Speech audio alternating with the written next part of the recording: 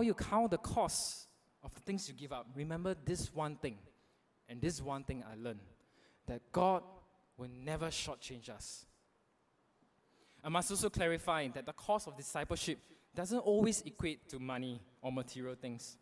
The cost could include opportunity costs in terms of our time spent in reading the Bible, taking the effort to pray for the poor and the needy, energy spent engaging a non Christian friend or neighbor, or maybe it could be your ambition. So, what are the things that you hold on to in your life? And if Jesus were to ask of you to give these things up, would you?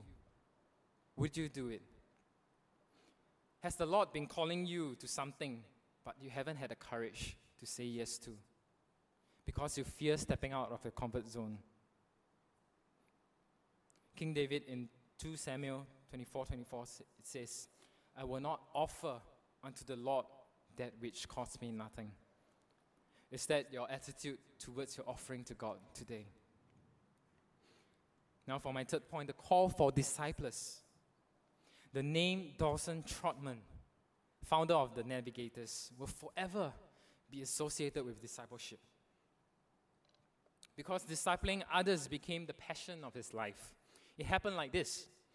One day early in his ministry, Dawson was driving along and he saw this young man walking down the street on his way to work at the golf course. Dawson often picked up hitchhikers because it gave him a chance to witness.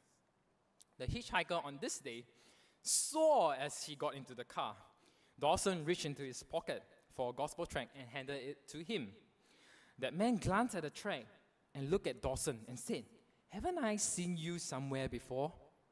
Dawson looked at him closely. As it turned out, the two men had met on the same road the previous year. Dawson had actually witnessed to him before, led him to Christ, and Dawson was very confident that another soul has entered the kingdom of God. But now, a year later, there was no more evidence of this new birth, of the new birth in this young man, as if he has never heard the gospel. He said, Dawson said, after I met this boy the second time on my way to the golf course, I began to go back and find some of my converts. I want to tell you, I was sick at heart. Motivated by this experience, Dawson Trotman began working on follow up, on developing ways of discipling others, of those of discipling those he was winning to Christ. He went on to say this You can lead a soul to Christ in anywhere from 20 minutes to a couple of hours. But it takes 20 weeks, takes from 20 weeks to a couple of years to get him on the road to maturity. I tell you, I can totally relate to that because in 2012, I led one of my army men to Christ, and I remember it very clearly because it was during my birthday, and it was a good birthday gift. I went through the four spiritual laws with him. I led him in the sinner's prayer. Uh, I found him a church in the east because he stays in the east, and I thought my work was done. But the past two years, when I went back to reservists, there was no more evidence of the new birth in, in that man as if he has never heard the gospel. It saddens my heart. Yes, we need to evangelize, but without good follow up, it's as good as you never did evangelize. This is the reality that calls for one thing we need to raise disciples. One question I've always asked myself this is that if Jesus is all powerful, why did he need the disciples to do the things? If Jesus can just change things miraculously, why did he go through the trouble to get 12 disciples and get them to do the things that he wants? The answer is simple. He is modeling for us what we need to do as a follower of Christ. The 12 disciples are the epitome of this model of discipleship. The final commission he had for all of us as we know it is to therefore go and make disciples of all nations, baptizing them in the name of the Father and of the Son and the Holy Spirit. This is found in Matthew 28 19. And so, how do we make disciples of all nations?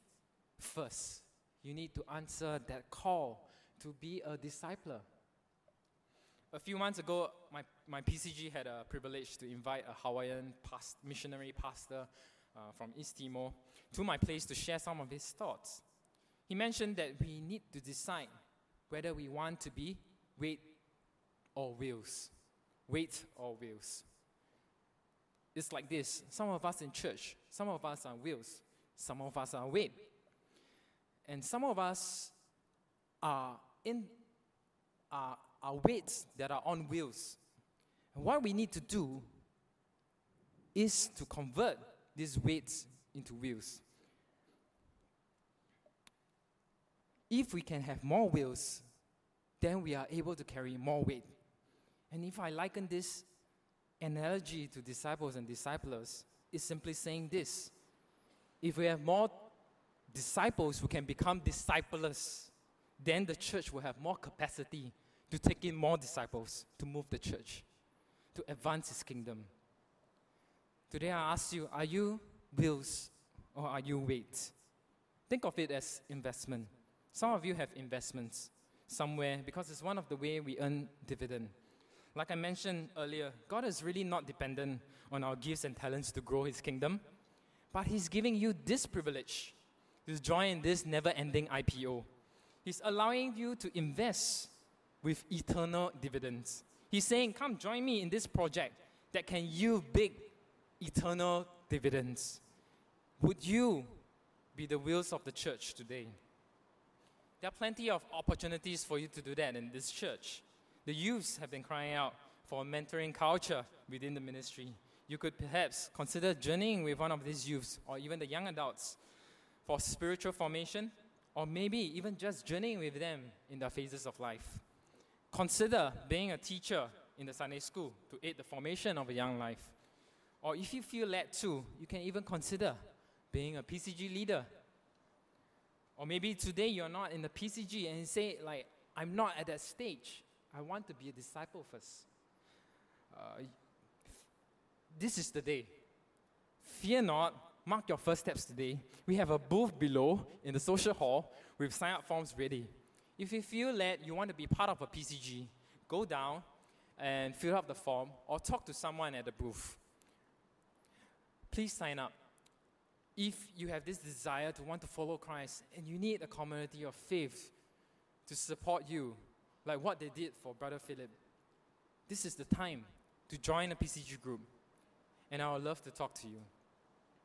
And if you have the stirring to be a discipler, to be the wheels of the church, also come and sign up at the booth. I want to talk to you. Bottom line is this invest in a life other than yourself today. I repeat that.